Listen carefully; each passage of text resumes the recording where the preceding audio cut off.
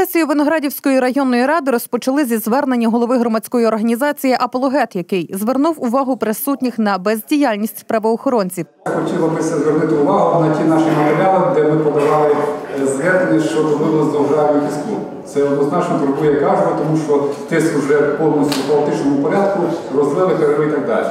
Опісля головуючий засідання запропонував перейти до розгляду проєктів рішень та внести до різного три питання. Кілька разів розглядали одне і те ж питання повторно, але рішення не проходило. Голосів постійно не вистачало. Одні були проти, інші не могли проголосувати, адже почергово у більшості депутатів виходили із ладу планшети, і так протягом всієї п'ятигодинної сесії. Кого не спрацювали планшети, не спрацьовують.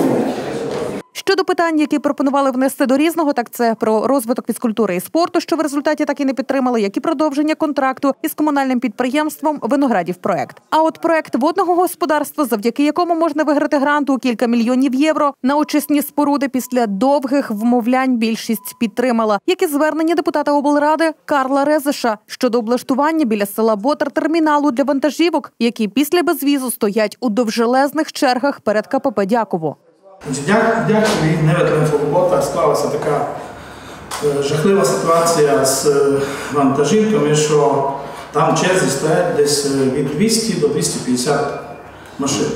Ви уявляєте, да, що за цими машинами е, залишається на вулиці, так як ні туалетів нема, нічого. Варіант, що зробити перед ботарем, так як голова сільської ради готовий надати земельну ділянку, щоб зробити якийсь термінал, щоб там накопичували значить, е, вантажні машини. Вмовили присутніх підтримати і погодження статутів закладів культури. І так плавно перейшли до розгляду порядку денного. Хоча попередньо чимало людей пропонувало перенести сесію. Адже питання перерозподілу 4 мільйонів на освіту, медицину, благоустрою, сіл та зарплати сільським радам застрягло в РДА.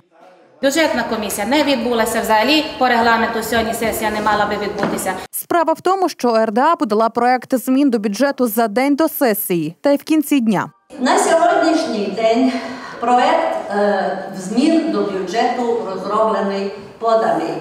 Дійсно, подано вчора вечором, в кінці дня. Чого пізно подали, е, мене не обирають, я можу собі дозволити говорити правду. І не мушу любитися.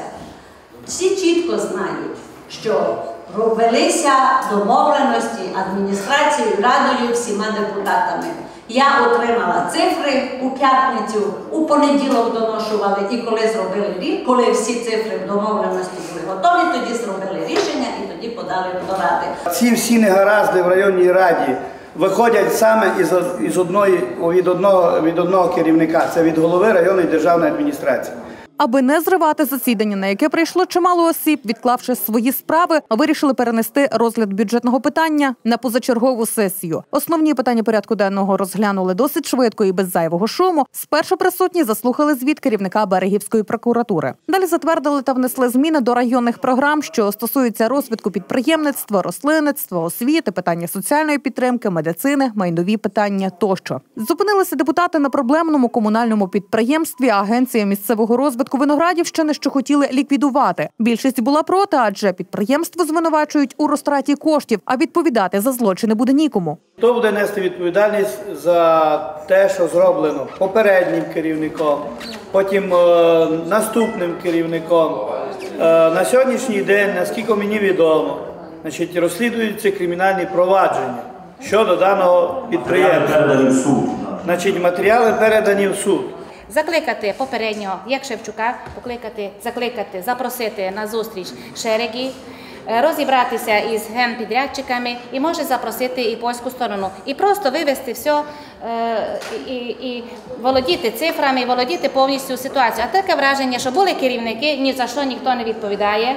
Наостанок присутні заслухали пояснювальну записку до зареєстрованого проекту рішення про недовіру очільнику райдержадміністрації. Його автор Юрій Лихтей звинувачує голову РДА у розкраданні коштів. Тепер він хоче поставити на е, сесію, на сьогоднішню сесію проєкт рішення, в якому одним із пунктів це повернення йому повноважень на розподіл коштів у міжсесійний е, період. Тож вже на наступних сесіях присутні голосуватимуть за питання про недовіру голові РДА Михайлу Русанюку.